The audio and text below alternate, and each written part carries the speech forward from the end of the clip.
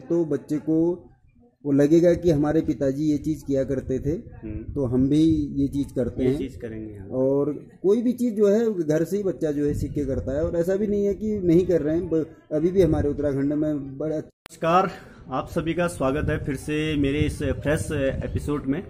तो आज हम बात करेंगे बसंत पंचमी के ऊपर इससे पहले मैंने बसंत पंचमी के ऊपर एक वीडियो भी बनाई थी। आप लोगों ने उसे बहुत प्यार दिया। अगर आप भी उस वीडियो को देखना चाहते हैं तो नीचे डिस्क्रिप्शन में लिंक दे दूँगा। आप लोग उस वीडियो को भी देख सकते हैं।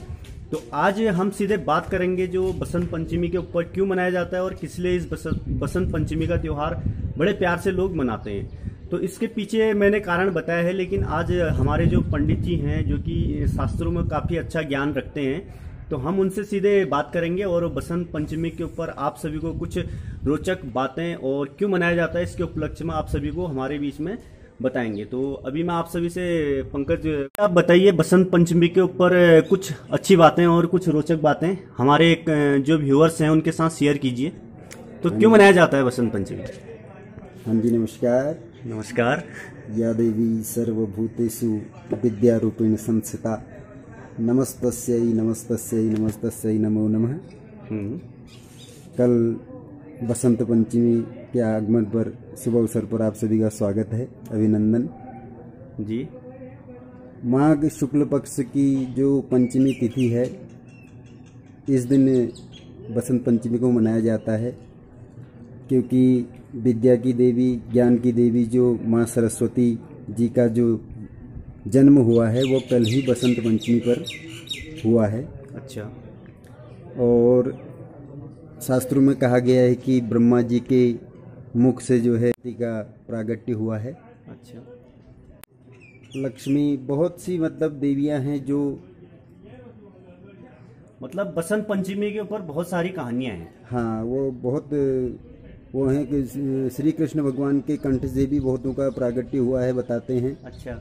और बसंत पंचमी पर जो है कल को जो है बहुत बड़ा त्यौहार मनाया जाता है गाँव में। गाँव में। और ये हरियाली का भी प्रतीक माना जाता है। हाँ हरियाली का भी प्रतीक माना जाता है। इसमें जो है कल को जौ की बालियाँ जो है छोटी बालियों को जो है घर पे लाया जाता है। पंडित जी घर में आते हैं उनसे उसकी प्रतिष्ठा की जाती है। फिर उनको जो है भगवान को अर्पण किया जाता है खु- खुद भी स्वयं अपने सिर पर धारण किया जाता है। पीले सरसों के पेड़ कल से जो है लहलाने लग जाते हैं। और कल बच्चों का भी जो है बहुत बड़ा वो त्यौहार होता है। अच्छा। उसमें जो है पीली रुमालें पीले कपड़े जो है छोटे बच्चों के गले में बांधे जाते हैं। जी। बसंत पंचमी का एक बहुत बड़ा अपना महत्व है हमारे उत्तराखंड के लिए। अच्छा। सभी को यह त्यौहार मनाना चाहिए। जी धन्यवाद। और जैसे कि आज हम देखते हैं जो हमारी पब्लिक है वो इन चीज़ों से मतलब उतना महत्व नहीं रखती है। और हमारे जो आने वाली पीढ़ी है शायद उन्हें पता भी नहीं होगा बसंत पंचमी क्यों मनाते हैं। मतलब एक बसंत पंचमी नहीं जो हमारे गाँव में छोटे मोटे त्यौहार हैं।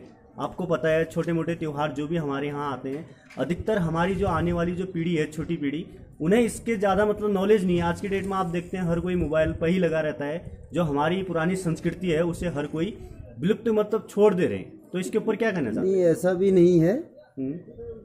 जो आप जैसा अपने घर में जैसा करेंगे वैसा ही बच्चा जो है घर पे देखता है। अच्छा। अगर आप घर में कोई पुण्य कार्य कर रहे अच्छे त्योहार हर त्योहार की जो है मान्यता है अच्छा अच्छा। और लोग श्रद्धा रखते हैं इन चीज़ों श्रद्धा रखते हैं। और लोगों को रखना भी चाहिए। हम्म, और हमारा भी यही रहेगा कि लोगों में जो है ये पूजा पाठ का भाव आते रहे। अच्छा।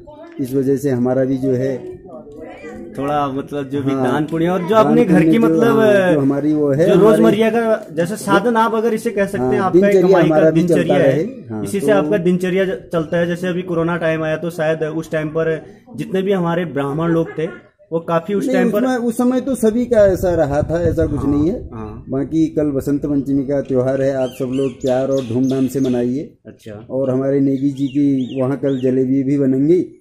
तो आप गरम गरम जलेबी भी ले जी धन्यवाद। बहुत बहुत धन्यवाद पंकज गुरु आपका।